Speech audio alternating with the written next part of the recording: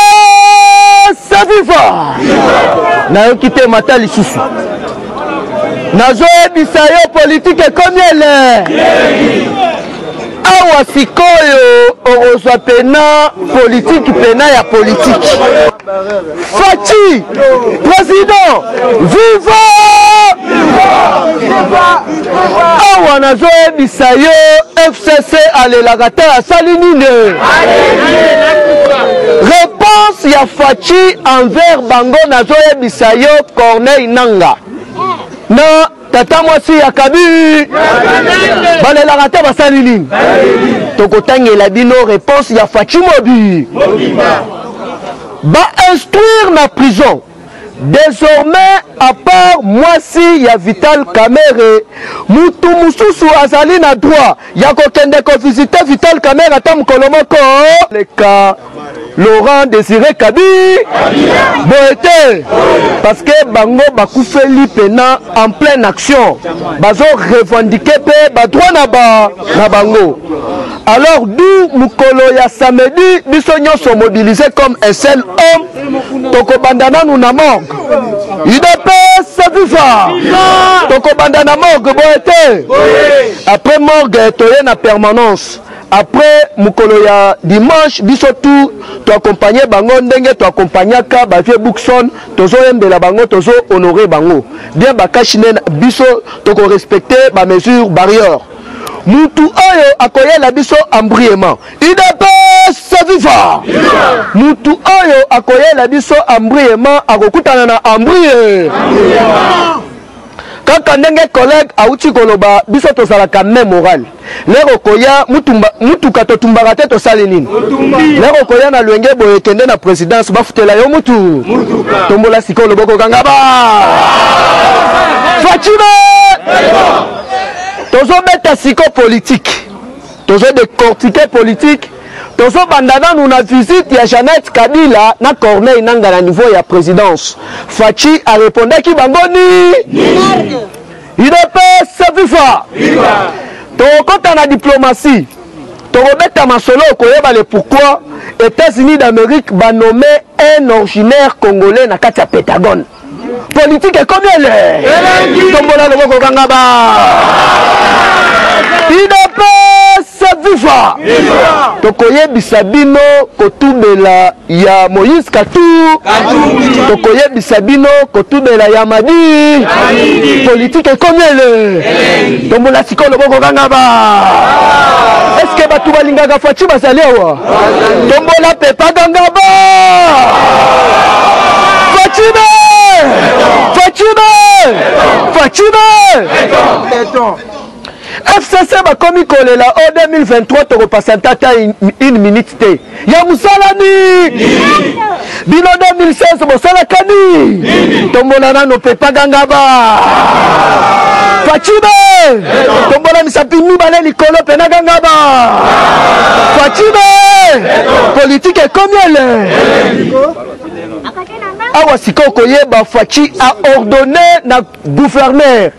ya banque udps viva na ba ancien gouverneur nyonso de 2004 kino 2018 bayela ye babordero ya mbongo nyonso ebimaki na banque sa masangu mulondo oyo azalaka ancien gouverneur na ministère ya affaire étrangère eh. aluka passeport o te no azokende tourisme dubai eh. mama tubazese ayebisi eh, na nkube kombola sikoyo loboko banga ba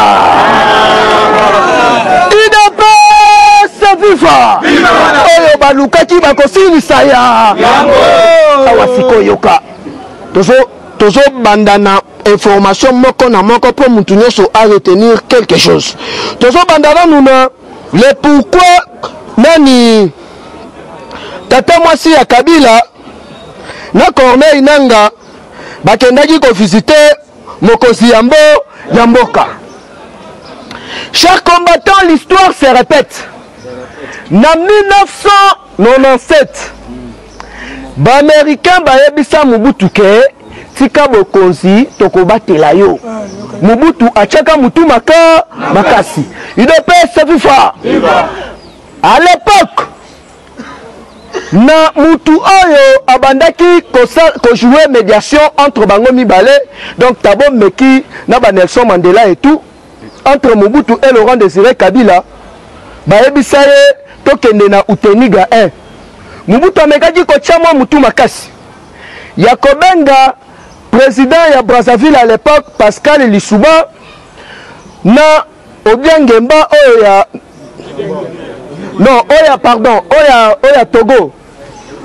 papa ya fort nyasimbe eyadema aconvokaki mwa mini sommet moko boye wana ya kobenga tous les présidents ya afrique centrale baya na réunion atindela ba paul biya ba théodore obiangema baya te Mobutu a se sentiraki déjà lâché. UDPS, viva Parti au pouvoir, viva, Alors que Bill Richardson, à l'époque, oyo azalaka ambassadeur, na niveau ya Zaïre, ayebisa ye que non il faut otika pouvoir mpo obima na grande porte mobutu ayokaka te bill richardson na envoyé spécial ya nations unies na niveau ya grand lac à l'époque monsieur slut bazwaki vol na bango bazongi na niveau ya france udps viva mobutu laka amoni keno mayele esuki ye akomaki koluka dialogue Oh to to kende to kutana bango tu ba jouer mediation Kabila azala wana communauté internationale ezala wa yango omoni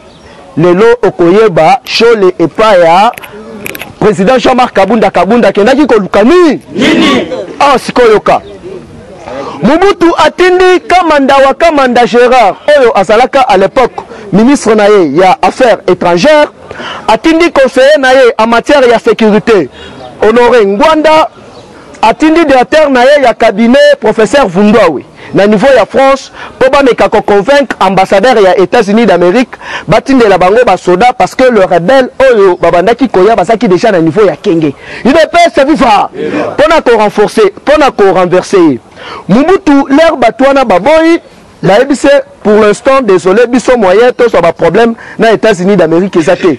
Mobutu abenga Angola batindela ye basoda babenga na Angola bayebisa président à l'époque Eduardo na Savimbi balobi soki omeki kotinda basoda na yo moko okozala liba udps viva Mobutu akamataki vol na ye général Mayele ayebisa ye mwana mai na minute oyo yebe Nazoyebisa yo eloko oyo Jeannette na Corneille Nanga bakendaki koluka epai ya Fatshi eza que non Kabila akomi kosenga akende exil.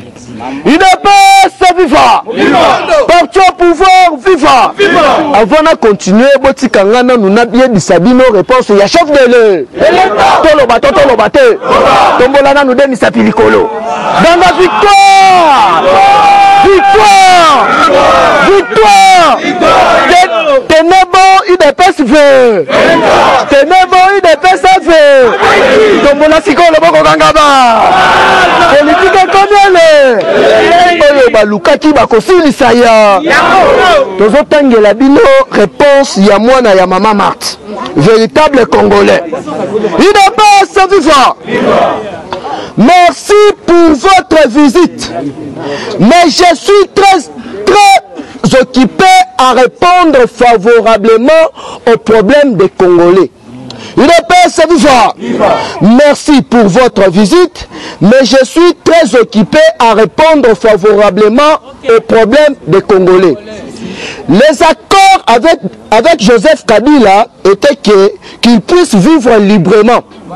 Une paix voir Et moi et lui, il n'y a eu aucun accord. Et désormais, la coalition appartient pas. Car je lui ai montré ma bonne volonté de collaborer avec lui. Mais lui s'est abusé en voulant bloquer mes actions qui sont à l'intérêt du peuple Congo. Il dépasse vivant. Maintenant, Je ne regarderai plus en arrière, car la justice va faire son travail.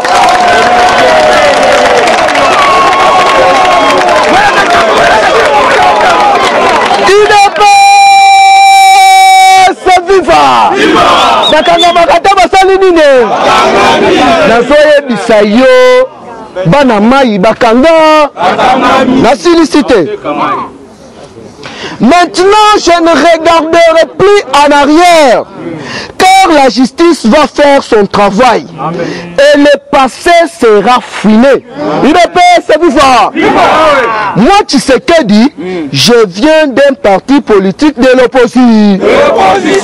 Je vais toujours être ensemble à côté du peuple Congo. Corneille et Jeannette Kabila, pas tout fan de. Tokai, Tokola le Bobo Kangaba. Inabas Kakufa. Parti au pouvoir, viva. Awa sikoyo kandenge makambo ekomi kokendele. Selon sikoyo place ye azoluka akende exil Fatshi alobi boye na Afrique centrale na West Afrique akokende kuna ata mokolo moko te udps viva na Afrique centrale Na ouest ya Afrique, na Afrique australe, aza na droit ya kokende kuna te. Mboka oyo ba poneli ye eza ba mboka ya ba Maghreb. Parce que awa oko comprendre l'heure na kokota na diplomatie, okoyeba le pourquoi fondation ya fondation moko e collaboraka na Nations Unies, UDPS viva! Viva! Oyo e demanteler réseau donc fondation ya Georges Clooney na epouse na ye oyo babengi na nkombo Amala Amalandine, avocate spécialiste du droit de l'homme. UDPS viva! viva. Ba découvrir réseau oyo Kabila babandaki kosala blanchissement d'argent. nazoyebisa yo keno awa na rdc ti omoni mbongo ezomata bato wana babandaki koreproduire 600 millions de francs congolais par jour alors nini yango Oyo oyoki que non kabila akomi sikoyo na suka? Kabila a preparaki dejà rebellion na Est mobimba epela moo! En complicite avec l'eglise catholique, en complicite avec Vital Kamerhe! Yango oyoki chef de l'Etat a instruire na conseiller na ye en matière ya securite, desormais à part mwasi ya Kamerhe mutu mususu ameka kokende kotala Lwakaningini! udps viva tant que bapreparaki déjà rébellion na est balingaki basala rébellion wana moto ete siko plan na bango nyonso tuna maye udps oh. viva deuxièmement kabila atiaki babombe télécommandé na baroport nyonso na baaérodrome ya république démocratique du congo ya keno Soki peut etre avion presidentiel eye ba telecommander yango e exploser mais ndenge tozo yebisa bino awa okoyeba sikoyo pona nini ba nomme azalaka ancien meselabe oyo babengi bien na kombo ya Abel Ongin Boake azali kasaien plus precisement mushilele baye sikoyo batie ye na departement ya Pentagone udps viva mpo na kosurveiller de plus près situation na république démocratique du congo udps viva awa ndenge nazoyebisa yo awa tous les bombes oyo batiaki na aéroport ya njili na lubumbashi na kasai partout badeteraka yango te basali nini Deuxième plan na bango ezalaki nini? ya kosabote kosala sabotage ya baentreprise nyonso ya rdc kocreye baincendie soki botali au courant de la semaine oyo si pas lundi ou soit le dimanche boyokaki keno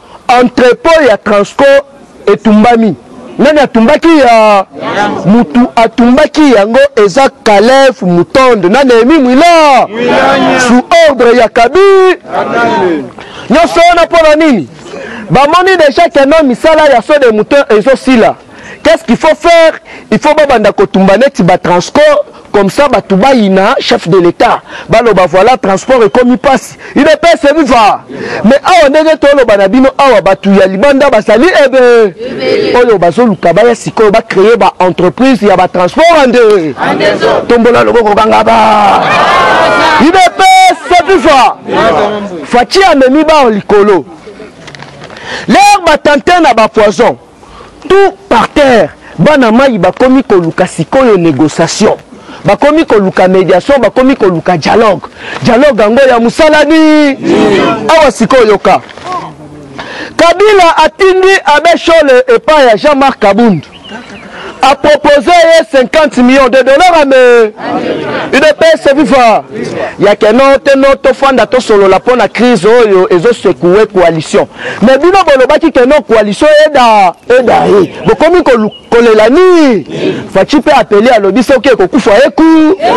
ngai na Kabila nani accord moko ezali soki accord ezali abimisa ya peuple congolais amona ya UDPS viva viva parti au pouvoir viva viva tombola loboko kangaba Lelo nakomi epai ya JM. O nini okeno au nom de la paix en tant que chrétien tozali sense biso nyonso tosangana mpo na kosala dialogue mpo na kosolola tous toza ba fils du pays tosolola tokonza ensemble mboka na biso tobongisa yango Jean-Marc Kabunda ayebisi ye na mokuse minakata ale abe shole we toka i udps fifa awa sikoyo yoka Katumbi ayebisi bango ni toyebi biso nyonso awa keno avant confinement bomonaki Katumbi akei na niveau ya Etats-Unis kokutana na Tibor Nagy kokutana na Na Tibor Nagy pardon, oyo azali secretaire d'Etat americain charge des affaires africaines, akendaki kosala lobbying mpo na ko preparer dejà 2023. Udps viva! Lelo akomi kuna, batuni ye na mukuse. Yebisa biso nanu hymne du parti ya parti na nayo. Est-ce que na Congo à Paris des pêches boyebi parti politique oyo bazalaka na hymne du parti batikela biso makele bango nyonso baza na ba ONG baza na ba ONG ah sikoyo yoka Katumbi wana alobi na Katanga parce que communauté katangaise nyonso ba reconnaître na bango Batindi moko na bango asenga bolimbisi na Habacuc. Udps viva! Alobi asalaki vraiment asalelaki sagesse ya ko soutenir chef de le ba comprendre que non moto azo manipuler bango azo tia bango na ba conflit moko inutile ezali kabi udps viva d'après tout faci azali mwana ya mbo yango boyokaki jean claude muyambu alobi mungala na dirige congo akukuye mambo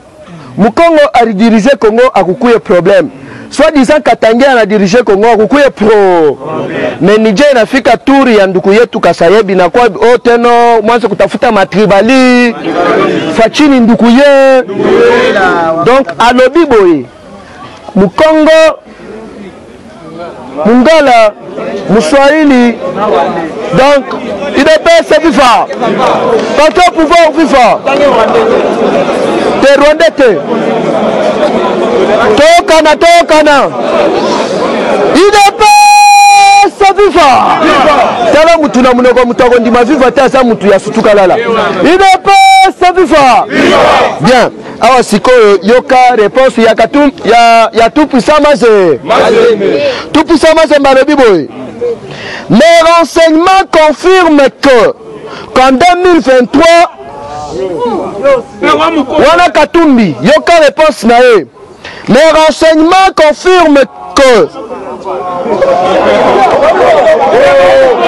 UDPS viva papa elonga elonga ezali ya bi wana katumbi alobi asali point de presse mes renseignements confirment qu'en 2023 les Américains vont soutenir Félix Tshisekedi Chilombo pour un deuxième mandat. Il est pas ce vivant. De ce fait, a-t-il indiqué je me vois dans l'obligation et la position de se rallier à son excellence Félix et Antoine Tshisekedi En Afin de porter sa candidature Je ne vais pas me distraire dans des histoires de soi-disant la mouka. Ensemble pour le changement et tous mes compatriotes, nous allons soutenir son excellence Félix et Antoine Tshisekedi Chilombo en 2020. Parce qu'en 2023, on a eu ça quelques élections ça. Oh. kuna donald trump chunza alobi makambo ya élection ezali asengi report akomeli presidente ya senat oyo babengi na nkombo ya nasi perosi udps viva ya kosenga report ya deux ans ya election na niveau ya états-unis da awa mpe okoyeba sikoyo lelo nini yango elekani Eloko ya kokamwa lelo ni journal ya New York Times UDPS viva na top 100 ya ba personnes le plus importante d'Afrique Fatshi abimi numero betela Fatshi mabo makasi UDPS viva Fatshi Mukwanto Mukwanto Mbolo Fatshi Nta Ntambwa Fatshi Lion oboyelo oh, papa bino biso toyebaka ye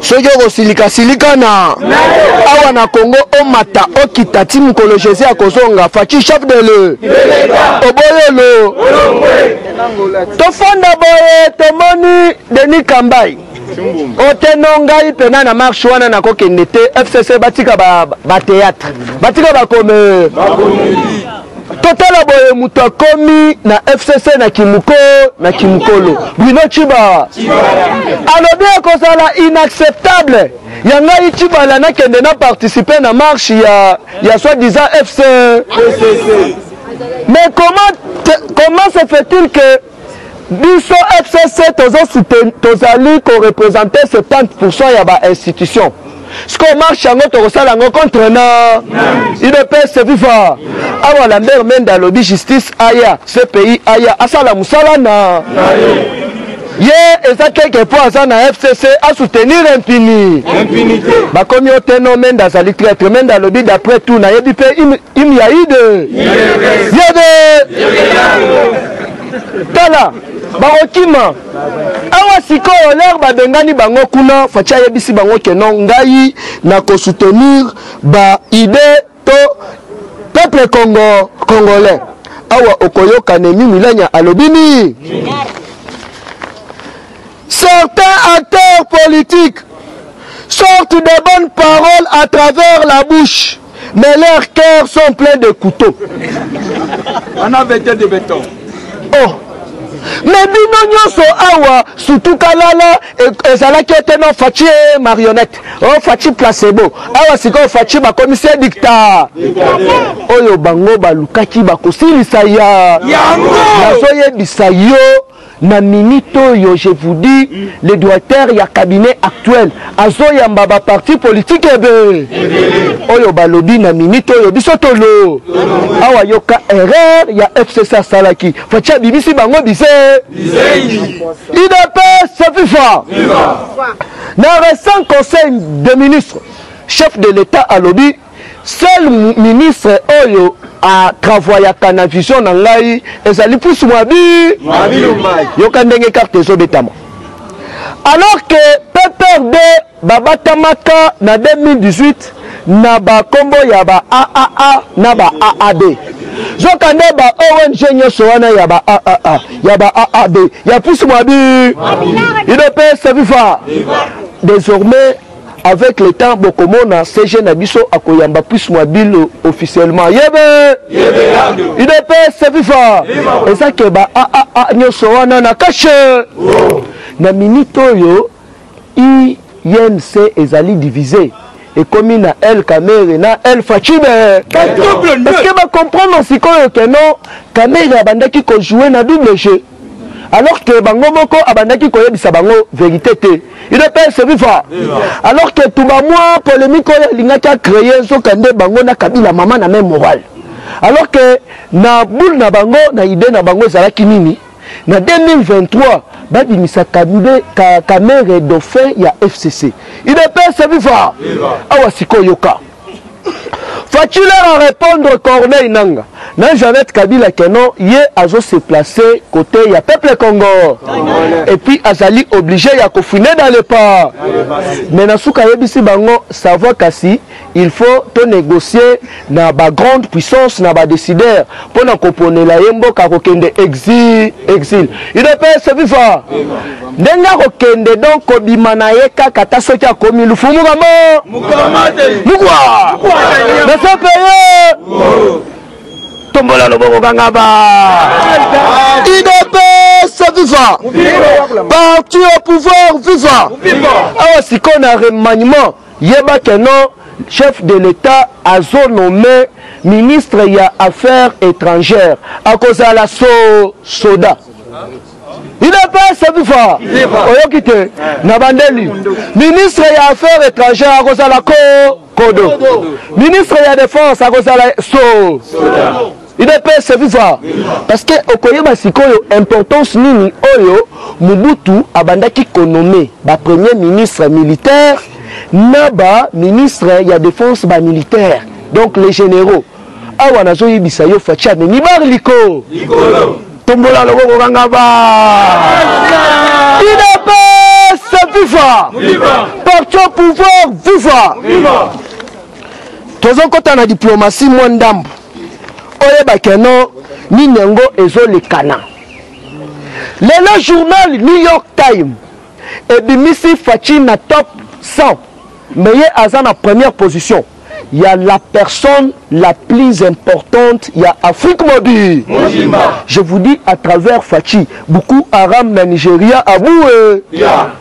esbola na kenya aboue yeah. Nionso wana pona nini ba demantele reseau oyo ebandaki coopere na oyo babengi mutuale Francis Kabila petit frère mwana nsuka ya bakabi udps viva ye mutu abandaki ko collabore na hezbollah kosala ba transfert pona ko soutenir terrorisme na niveau ya afrique kocreye insecurité udps viva nyonso wana au profit nini au profit ya baimperialiste oyo tobengi baris bachinois na etat iran sikoyo na minute oyo nazoyebisa yo keno okoyeba le pourquoi babimisi faci na top 100 Ye mutu ya liboso balobi la personne la plus importante na Afrique.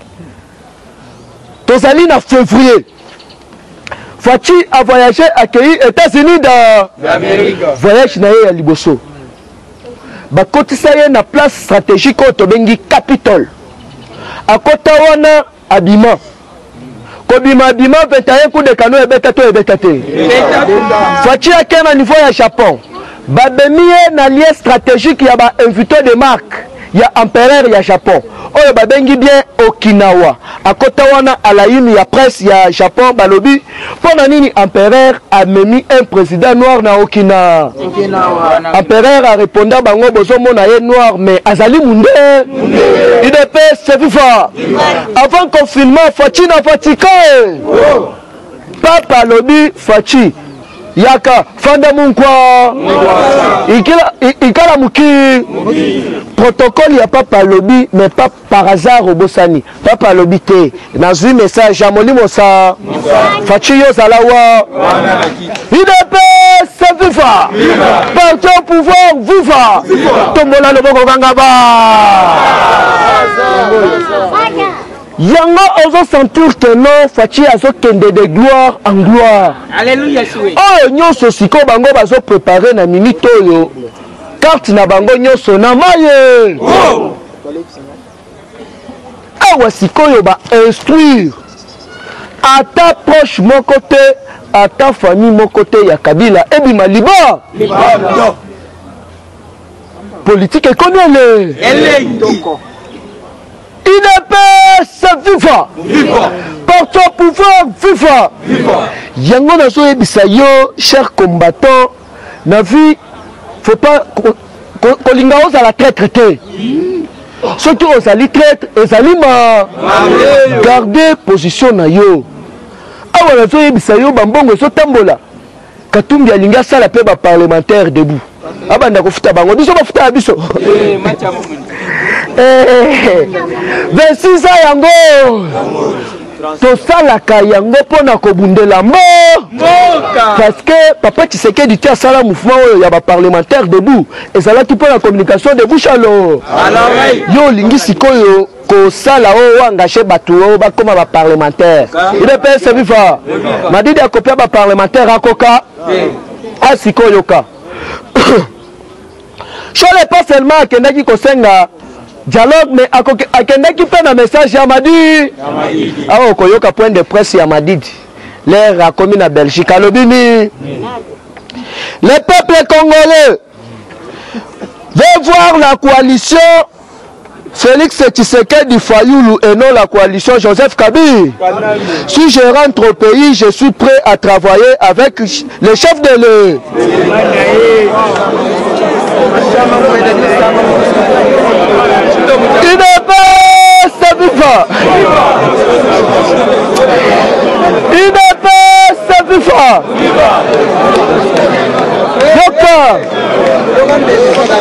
yoka idps viva madidi amonini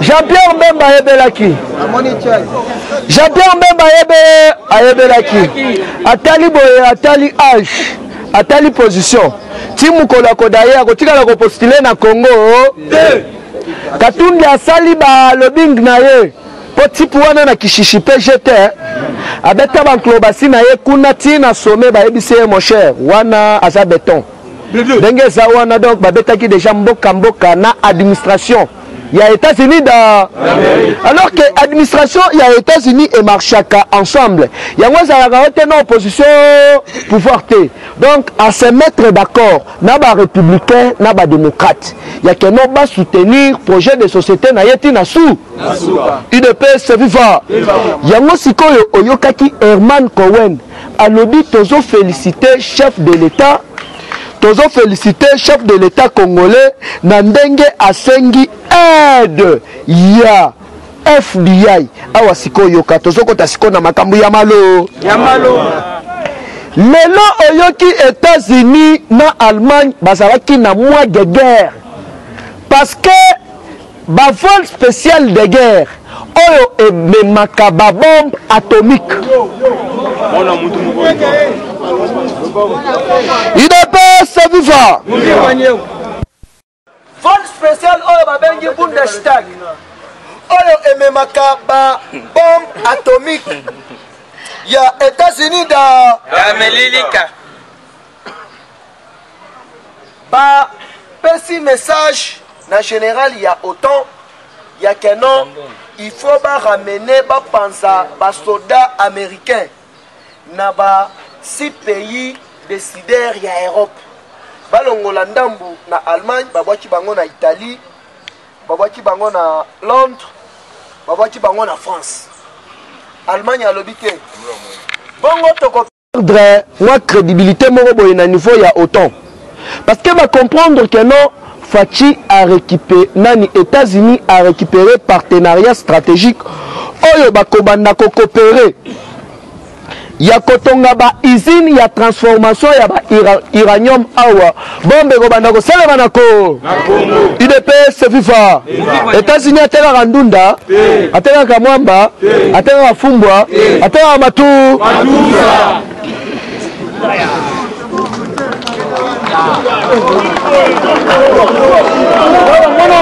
Alors que il est pèse viva.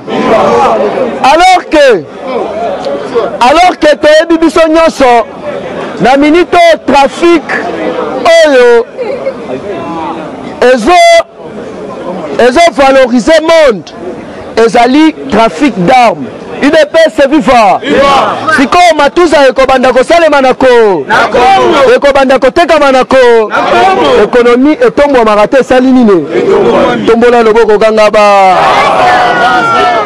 udps viva parti au pouvoir viva eza mpo na koyebisa yo keno ti bomonaki vladimir poutine aleli que kabila falaki te otika pouvoir ti opesi yango boye ti mokolo jesus akosala nini awa okoyeba keno na minite oyo ezali na oyo babengi juna aspel udps viva parti au pouvoir viva juna aspel oyo azali directrice ya ya sia na christopher asher inepese viva basali déclaration officielle ya kosoutenir rdc na baplan nyoo alors nazoyebisa yo ke no na minute oyo politike ekomi ele alors notre congolais était à l'honneur na niveau ya pentagone oyo batye ye neti na niveau ya pentagone neti lisu ya fachime udps viva eza mpo na koyebisa bino keno politike ekomi ele mpo na lelo abue Eshima, votre magazine qui bat au rythme de l'actualité. Retrouvez la nouvelle édition. Exclusivité, l'an 1, dépassé à Nenanga. Métamorphose et décollage de la province du Ouélé. À la manœuvre, Christophe Nanga. Avec abnégation et patriotisme, les gouverneurs Basseyan est déterminé à lancer la province du Ouélé sur la voie du développement intégré interview, prise en charge des malades, la maîtrise de la propagation du coronavirus, docteur Eteni répond à toutes les questions. Économie, la baisse des prix, les combats permanents d'Acacia Bandubola. Dossier Eshima, mécanisme national des suivis historiques et réalisation. Focus, Sele Yalagouli propose des nouveaux paradigmes de développement indispensables à la relance de l'économie. Nation, championne du social, Agnès Mouad Naouej et la CNSS offrent un million de dollars dans la lutte contre la pandémie Covid-19. Moussa Mondo sensibilise et prend en charge des personnes vulnérables. Parité, Olive Lembe Kabila, modèle de générosité et d'entrepreneuriat féminin. Afrique, un déconfinement aux multiples facettes. Retrouvez l'intégralité du magazine Echima dans les kiosques. Eshima Magazine, un nouveau standard d'information.